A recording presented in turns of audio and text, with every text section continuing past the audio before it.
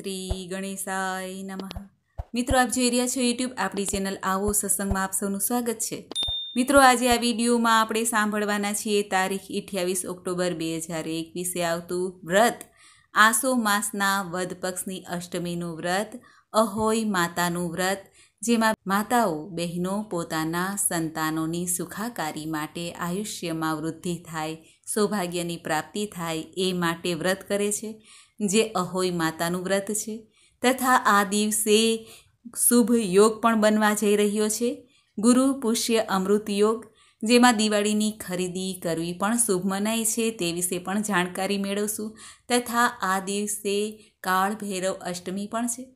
આમ આ દિવસ ખૂબ જ શુભ અને મંગલકારી છે. મિત્રો, આ બધી માહિતી આપણે આ વિડીયોમાં સાંભળવાના છીએ. અહોય માતાની વ્રત કથા મહિમા સાંભળવાના છીએ. જો આપને આ વીડિયો પસંદ આવે તો લાઇક કરજો, શેર કરજો ના પા ચેનલ પહેલી વખત જોઈ રહ્યા છો તો સબસ્ક્રાઈબ કરી લેજો જેથી આવનાર નવા વિડીયોની માહિતી આપ સુધી તુરંત પહોંચી શકે. ધન્યવાદ. મિત્રો, અહોય અષ્ટમી પર છસો ને સિત્યોતેર વર્ષ પછી ગુરુ પુષ્ય અમૃત ગુરુ પુષ્ય નક્ષત્રનો દુર્લભ યોગ થઈ જવા રહ્યો છે. ખરીદારી અને દાન પુણ્ય માટે ઘણો શુભ યોગ માનવામાં આવે છે. કરવા ચોથ પછીના ત્યોહાર બાદ ઉત્તર ભારતમાં અહોય અષ્ટમીનો ત્યોહાર મનાવવામાં આવે છે. અહોય અષ્ટમીનું આ પાવન વ્રત માતાઓ પોતાના બાળકના ખુશહાલી જીવન માટે કરે છે. અહોય અષ્ટમીનું વ્રત આ વર્ષે અઠ્યાવીસ ઓક્ટોબર બે હજાર એકવીસ ગુરુવારે આવે છે. આ વર્ષે શુભ યોગને કારણે મહત્વપૂર્ણ બની જાય છે આ અષ્ટમી તિથિ. ગુરુ પુષ્ય અમૃત યોગનો દુર્લભ યોગ મહત્વપૂર્ણ માનવામાં આવે છે. સાથે જ આ દિવસે દાન પુણ્ય કરવાનો પણ મહિમા છે અને આ દિવસે દિવાળીની ખરીદારી કરવી પણ શુભ મનાય છે. આ દિવસે ચોપડા ખરીદવાનું પણ મુહૂર્ત માનવામાં આવે છે. અહોય અષ્ટમીના મુહૂર્ત વિશે પણ આપણે જાણી લઈએ. અહોય અષ્ટમીની પૂજાનું મુહૂર્ત છે સાંજે પાંચને આડત્રીસથી છ પંચાવન સુધીનું. માટે એક કલાકને સત્તર મિનિટ જેવી પૂજાનો સમય રહેશે. ગોવર્ધન રાધા કુંડમાં સ્નાનનું મુહૂર્ત પણ આજે જ છે. તારા દર્શન કરવાનું પણ આ વ્રતમાં ઘણું મહિમા છે. સાંજે તારાનું દર્શન કરીને તારાનું પૂજન થાય છે. અહોય અષ્ટમીના દિવસે ચંદ્રોદયનો સમય છે રાત્રે અગિયારને અઠ્યાવીસ મિનિટે, જો કે અલગ અલગ સમય અલગ અલગ સ્થાને જોવા મળે છે. અહોય અષ્ટમીનું ઘણું મહત્ત્વ છે. અહોય અષ્ટમીના દિવસે માતાઓ પોતાના સંતાનો માટે સ્વસ્થ જીવનની કામના કરે છે. આ દિવસે કરવા ચોથના વ્રતમાં જેમ ચંદ્રનું દર્શન કરવાનો મહિમા છે, તેમ આ અહોય વ્રતમાં તારાના દર્શન કરવાનું, તારાનું પૂજન કરવાનું પણ મહિમા છે. નિઃસંતાન કે સંતાન પ્રાપ્તિ કરવાની ઈચ્છાવાળી મહિલાઓ જો અહોય માતાનું વ્રત કરે, તો તેની મનોકામના અવશ્ય પૂરી થાય છે. વર્ષો પછી ગુરુ પુષ્ય નક્ષત્રનો દુર્લભ યોગ આ દિવસે થાય છે. માટે અહોય અષ્ટમીના દિવસે આ શુભ યોગમાં વ્રત રાખવું ઘણું શુભ મનાય છે. માન્યતા છે કે ગુરુવારે જો પુષ્ય નક્ષત્ર હોય, તો પૂર્ણ સિદ્ધિ યોગનું નિર્માણ થાય છે. શાસ્ત્રોમાં પણ આ યોગને મહત્વપૂર્ણ બતાવેલો છે.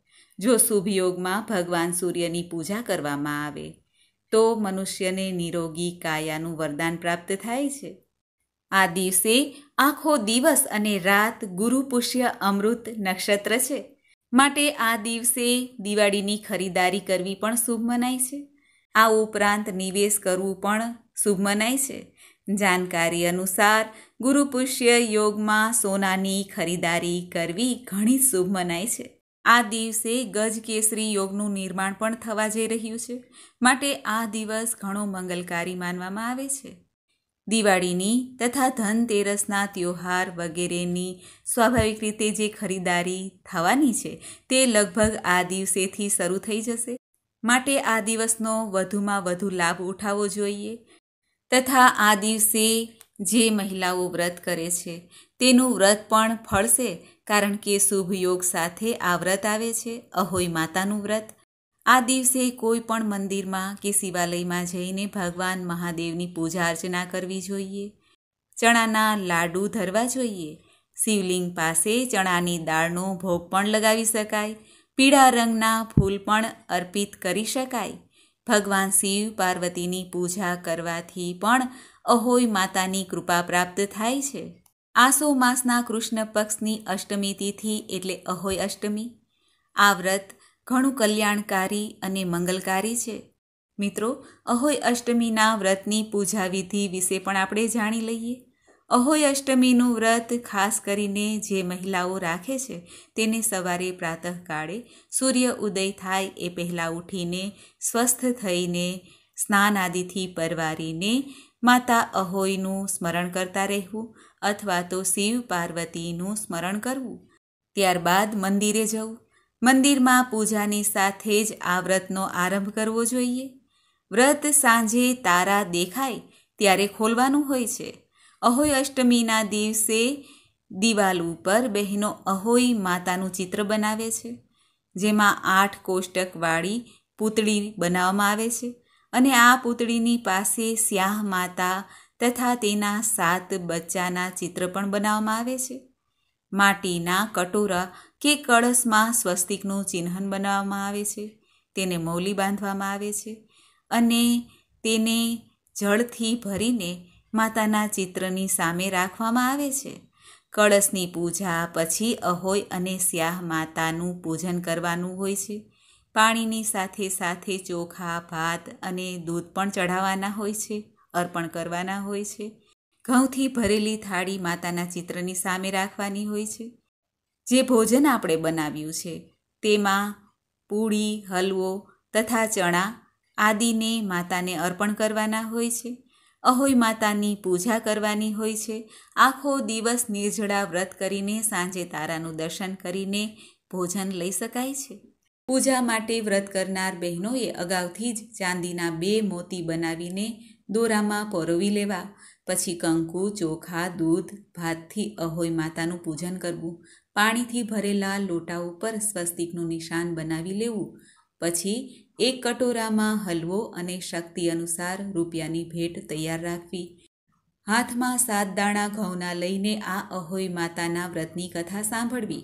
કથા સાંભળ્યા પછી અહોઈ માતાની ચાંદીના મોતીવાળી માળા ગળામાં પહેરી લેવી અને જે ભેટ તૈયાર રાખેલી હોય તેને સાસુમાને ચરણ સ્પર્શ કરીને આપી દેવી જોઈએ. ત્યાર પછી ચંદ્રમાને અર્ધ્ય આપીને પછી ભોજન કરવું. દિવાળીના પછી કોઈ પણ શુભ દિવસે જે ગળામાં ચાંદીના મોતીવાળી માળા પહેરેલી છે તેને ઉતારીને ગોળથી ભોગ લગાવીને પાણીના છાંટણા છાંટીને તેને સન્માનપૂર્વક કોઈ ચોખ્ખી અને પવિત્ર જગ્યા ઉપર મૂકી રાખવી. તારાનું દર્શન કરીને તારાને પણ અર્ધ્ય આપવું જોઈએ. આવી રીતે વ્રત ખોલાય છે. અહોય અષ્ટમીનું વ્રત કરનાર બહેનોએ કથા અવશ્ય સાંભળવી અહોય માતાની. તો આવો મિત્રો આપણે સાંભળીએ અહોય માતાની બે જુદી જુદી કથા, જેમાં અહોય માતાના વ્રતનો મહિમા જણાવેલો છે. સૌ પ્રથમ કથા પહેલી સાંભળશું, ત્યારબાદ બીજી કથા પણ સાંભળીશું. બોલો અહોય માતાની જય. પ્રાચીન કાળની આ વાત છે. કોઈ એક સ્ત્રીને સાત સંતાનો હતા. તેનું ભર્યું, ભાદર્યું કુટુંબ, પરિવાર હતું. કાર્તિક મહિનામાં દિવાળીના તહેવારો આવવાના પહેલાં તે પોતાના મકાનને લીપવા, ધોળવા માટે માટી લેવા જંગલમાં ગઈ. તે એક જગ્યાએ માટી ખોદવા લાગી. ત્યાં સાપણનો દર હતો. અચાનક તે સ્ત્રીની કોદાળી સાપણના બચ્ચાને વાગી ગઈ અને તે તરત જ ત્યાં મરી ગયા. આ જોઈને સ્ત્રીનું હૃદય કરુણા અને દયાથી ભરાઈ આવ્યું. તેની આંખમાં આંસુ છલકાઈ આવ્યા. પરંતુ હવે થઈ શું શકે? બનવા કાળ વસ્તુ બની ગઈ હતી. તે મનમાં ભારે પસ્તાવો કરવા લાગી અને દુઃખી મનથી માટી લઈને પોતાને ઘેરે પાછી ફરી. આ બનાવના થોડા દિવસો બાદ તેનો સૌથી મોટો દીકરો મરી ગયો. પછી બીજો પણ મરી ગયો. આ રીતે બહુ થોડા સમયના અરસામાં તેના સાથે દીકરા મરી પરવાર્યા. આનાથી તે સ્ત્રી બહુ દુઃખી રહેવા લાગી. એક દિવસે તે રડતી કકડતી આજુબાજુની વૃદ્ધ અને સમજદાર બહેનોને પૂછવા લાગી, કહેવા લાગી, હે બહેનો, મેં જાણી જોઈને કદી કોઈ પાપ કર્યું નથી. પરંતુ હા એકવાર જંગલમાં માટી ખોદતા સમયે અજાણતા જ સાપણના બચ્ચાને મારી કોદાળી વાગી ગઈ હતી અને તે ત્યાં જ મરી ગયા હતા. ત્યારથી એક વર્ષ પણ પૂરું થયું નથી કે મારા સાતેય દીકરા મરી ગયા. ત્યારે એ બધી સમજણી સ્ત્રીઓએ તેને સાંત્વના આપી અને ધીરજ બાંધતા કહ્યું, હે બહેન, તે પોતે લોકોની સમક્ષ જે પોતાનો અપરાધ સ્વીકાર કરી લીધો છે અને તેનો પસ્તાવો કર્યો છે, તેનાથી તારા અપરાધનું અડધું પાપ તો તેમાં જ ધોવાઈ ગયું છે. હવે તું આ અષ્ટમીના દિવસે ભગવતીની પાસે સાપણ અને તેના બચ્ચાનું ચિત્ર બનાવીને તેમની પૂજા કરજે. પરમાત્માની કૃપાથી તારા તમામ પાપ ધોવાઈ જશે અને તને ફરીથી પહેલાંની જેમ સંતાન પ્રાપ્તિ થશે. તે સ્ત્રીએ આસો માસના વદ પક્ષની, કૃષ્ણ પક્ષની અષ્ટમીના દિવસે વ્રત કર્યું. તે પછી તે સતત તે જ પ્રમાણે વ્રત પૂજન કરતી રહી. મા ભગવતીની કૃપાથી તેને ફરીથી સાત પુત્રો પ્રાપ્ત થયા અને તેનું જીવન સુખમય બની ગયું. ત્યારથી માંડીને આ વ્રતનું ખૂબ જ મહત્ત્વ વધી ગયું અને તેને પાળવાની પરંપરા પણ શરૂ થઈ છે. આ હતી એક પૌરાણિક કથા. હવે આપણે સાંભળીએ અહોઈ માતાની બીજી કથા. બોલો માતા અહોઈની જે પ્રાચીન કાળની આ વાત છે. દત્યા નામના એક નગરમાં ચંદ્રભાન નામનો એક શેઠ રહે. તેની પત્નીનું નામ ચંદ્રિકા હતું. ચંદ્રિકા બહુ સુંદર અને ગુણવાન હતી. તે ઉપરાંત તે શીલવાન, ચરિત્રવાન અને પતિવ્રતા સ્ત્રી પણ હતી. તેણે અનેકવાર સંતાન થયા, પરંતુ દરેક બાળક થોડા સમયમાં જ મરી જાય. સંતાનોના આ પ્રમાણે મરી જવાના કારણે પતિ પત્ની બંને બહુ જ દુઃખી રહેતા હતા. તેઓ બંને મનમાં વિચાર કરતા હતા કે તેમના મરણ પછી તેમની અઢળક ધન સંપત્તિનો વારસદાર કોણ હશે? તેથી એક દિવસ ધન, માયા વગેરેનો મોહ ત્યાગીને તેમણે જંગલમાં રહીને વસવાનો નિશ્ચય કર્યો. બીજે દિવસે ઘર બાર બધું જ ભગવાન ભરોસે છોડીને તેઓ બંને વનમાં જવા માટે નીકળી પડ્યા. ચાલતા ચાલતા કેટલાય દિવસો બાદ તે બંને બદ્રિકાશ્રમની નજીક એક શીતળ કુંડ પર પહોંચ્યા. કુંડની પાસે જ અન્નજળનો ત્યાગ કરીને બંનેએ મરવાનો નિશ્ચય કર્યો. આ પ્રમાણે બેઠા બેઠા તેમણે ત્યાં સાત દિવસ પસાર કર્યા. સાતમા દિવસે આકાશવાણી થઈ. હે મૃત્યુલોકના પ્રાણીઓ, તમે લોકો આ રીતે તમારા પ્રાણનો ત્યાગ શા માટે કરો છો? આ દુઃખ તો તમને તમારા પૂર્વજન્મના પાપોને કારણે મળ્યું છે. જો ચંદ્રિકા અહોય અષ્ટમીનું વ્રત કરશે, તો અહોય માતા પ્રસન્ન થશે અને તેમને વરદાન દેવા માટે જરૂર આવશે. ત્યારે તમે તમારા પુત્રોના દીર્ઘાયુષ્ય માટે વરદાન માંગી લેજો. ત્યાર પછી બંને પતિ પત્ની પાછા ઘેરે ફર્યા. આઠમના દિવસે ચંદ્રિકાએ વિધિપૂર્વક શ્રદ્ધાથી વ્રત કર્યું. રાત્રિના સમયે બંને પતિ પત્નીએ સ્નાન કરીને સ્વચ્છ વસ્ત્ર ધારણ કર્યા. તે સમયે અહોઈ માતાએ દર્શન આપ્યા અને વરદાન માંગવા કહ્યું. ત્યારે ચંદ્રિકાએ વરદાન માંગ્યું કે, હે માતા, મારા બાળકો ખૂબ જ નાની વયમાં જ મૃત્યુ પામે છે, તો તેમને દીર્ઘાયુષ્ય થવાનું વરદાન આપી દો. અહોય માતા, પણ તથાસ્તુ, એવું કહીને એકદમ અંતર્ધ્યાન થઈ ગયા. થોડા દિવસો બાદ ચંદ્રિકાને સંતાન રત્ન પ્રાપ્ત થયું અને તે સંતાન વિદ્વાન, પ્રતાપી અને દીર્ઘ આયુષ્યવાળું થયું. આમ અહોય માતાની કૃપાથી આ પતિ પત્નીને સંતાનનું સુખ પ્રાપ્ત થયું. બોલો અહોઈ માતાની જય. તો મિત્રો, આપણે સાંભળી અહોઈ માતાની વ્રતકથા પૂજા વિધિ મહિમા તથા ગુરુ પુષ્ય અમૃત યોગ જે આજે બનવા જઈ રહ્યો છે તેના વિશે પણ માહિતી જાણી. મિત્રો, આજે આસો માસના વદ પક્ષની અષ્ટમી તિથિ. વદ પક્ષની અષ્ટમી તિથિ એટલે કાલાષ્ટમી પણ કહેવાય છે. આ અષ્ટમી તિથિ કાળ ભૈરવને સમર્પિત છે. ભગવાન કાળ ભૈરવ કે જે મહાદેવના જ અવતાર માનવામાં આવે છે, તેની પણ પૂજા થાય છે. કાલાષ્ટમીનો દિવસ કાળ ભૈરવ જયંતીના નામે પણ ઓળખાય છે. કહેવાય છે કે વદ પક્ષની અષ્ટમીના દિવસે ભગવાન શિવ ભૈરવના રૂપમાં પ્રગટ થયા હતા. અને ત્યારથી આ વદ પક્ષની અષ્ટમી તિથિને કાળ ભૈરવ જયંતી તરીકે મનાવવામાં આવે છે.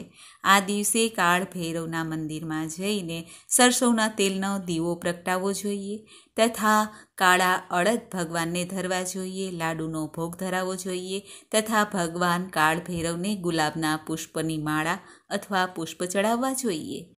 આ દિવસે કાળ ભૈરવનું વ્રત ઉપવાસ પણ થાય છે. જે ભક્તો કાલાષ્ટમીનું વ્રત કરે છે, તે કાળ ઉપર વિજય પ્રાપ્ત કરી શકે છે મહાકાલની દયાથી. કાળ ભૈરવ જયંતીના રૂપમાં મનાતી આ અષ્ટમી તિથિ પણ શુભ અને મંગલકારી છે. ભગવાન શિવની આરાધના કરવાની તથા ભક્તિ પ્રાપ્ત કરવાની આ અષ્ટમી તિથિ છે, જે ઘણી મંગલકારી છે.